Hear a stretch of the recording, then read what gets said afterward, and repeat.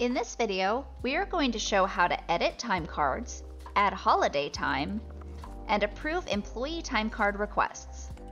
All of the admin pages we will be covering are listed under time card. By default, the admin username is the only one that can make edits to time cards. Supervisor access to edit other employee time cards would need to be granted in the Assigned Departments and Supervisors page under Features, and employee access to edit their own time cards would have to be granted in the Access page under Setup. Let's start out on the Edit page under Time Card. The Edit page shows one employee at a time, and you can view different pay periods or a manual date range. The page is separated into three or four sections. The top section is where you choose what you're looking at. The second section is the employee's time card. The third section is to add new time card entries to the time card. And if you're using the Other Compensations feature, the last section would be for compensation entry, such as mileage or commission. To edit what is already on a time card, just click into the time and adjust as needed. You can either enter time in a 24-hour clock format, or you will need to specify AM-PM. In the entry style column, in-out can be changed to hours if you just want to enter a set amount of hours. This is especially helpful for PTO entries. Lunch deductions are also an option under entry style. These will actually remove time from the daily total.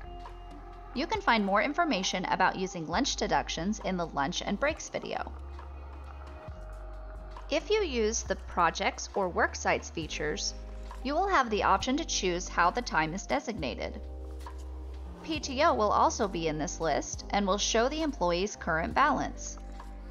A column for entry note may be available if activated in the General Setup Options page under Setup.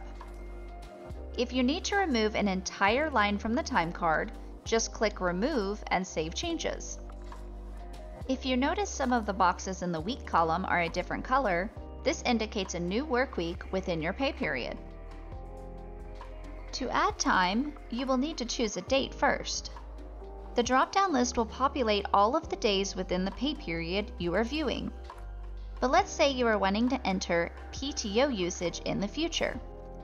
You can utilize the date range filter instead of the pay period filter, and this will allow you to add time to any day in the future. When entering PTO usage, you will probably want to change the entry style to hours, then enter the amount of hours the employee is using. Make sure to choose the PTO category. If you are entering more hours than the employee has available, the system will alert you and ask if you want to proceed. Using more hours than are available will put the employee into a negative balance until more accruals post to bring it back up. Adding compensations is similar. Choose the date, then enter the data you're tracking for that compensation category.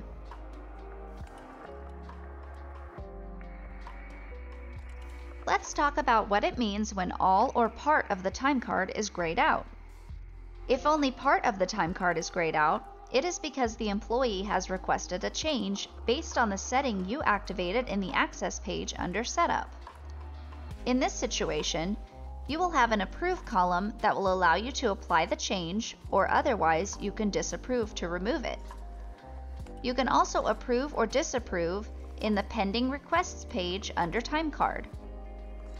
If the whole time card is grayed out and you are unable to add or edit, this means the time card has been approved. If an employee or supervisor approved, you can remove it here. If the admin username approved it, it will take you back to the page in which that was done so that you can remove the approval. You can also access that page, titled Admin Approval, under Time Card. Also under Time Card, you can find Edit by Date. This is almost just like the edit page, but instead of a whole pay period and one employee, it displays one day and all the employees. It may be important to note this page will not display PTO balances for each employee and will not warn you if the hours entered will put the employee into a negative PTO balance. The next page is Holiday Creator, which is similar to Edit by Date, but is widely popular for entering paid holiday hours. Here, you can enter the hours for the day, choose the category of work or PTO, then check everyone you want to apply the time to. You can tell the system to skip adding hours to anyone who already has time on that day, or to add the entry regardless of existing hours on that day. You can also just reference who has time listed on that day.